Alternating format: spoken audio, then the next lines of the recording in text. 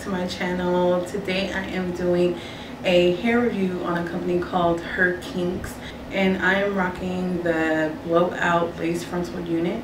The company carries three different types of wig units and they all mimic African American hair. So the first one is the one that I'm rocking which is the frontal.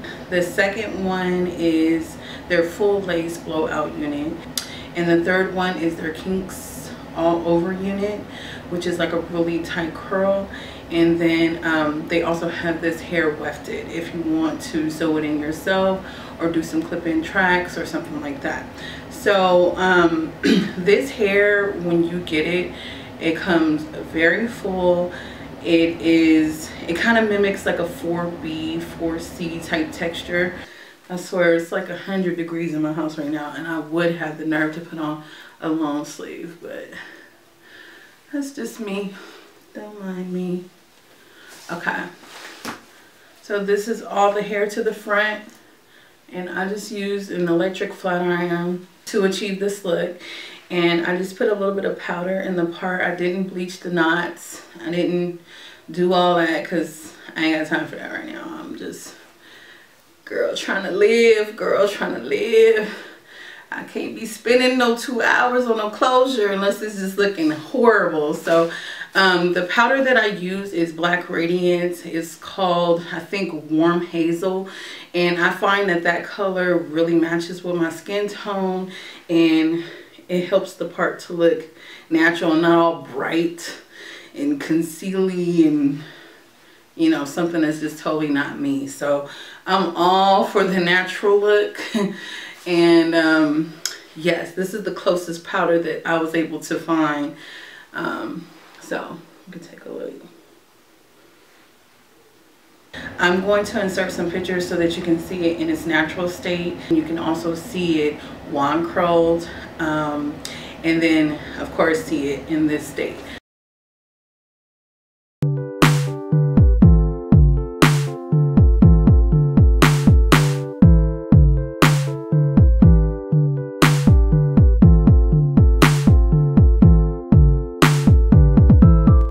Love it every single way that I've worn it. Like this hair is gorgeous. Like when I go out, people are like, oh my gosh, your hair is so pretty. I'm constantly getting compliments about the hair. It really is a great grade of hair. It's 100% human virgin hair. Um, I think the website says it's 6A grade. I don't know that much about different grades of hair, but what I can say is that it hasn't shed. It flat ironed very well. You can also dye this hair. Um, I think the density of the closure is about 120 it lays really flat. Um, it comes with three clips and an adjustable comb. No, no I'm sorry. It comes with three clips and adjustable straps. And you can of course um, glue the front down I just chose to just wear a part down the middle which works great for me. I might try to do, I've never done a frontal before, so that's something that's a little different for me. I might try to and maybe kind of do some kind of updo. So let me know if you guys want to see that.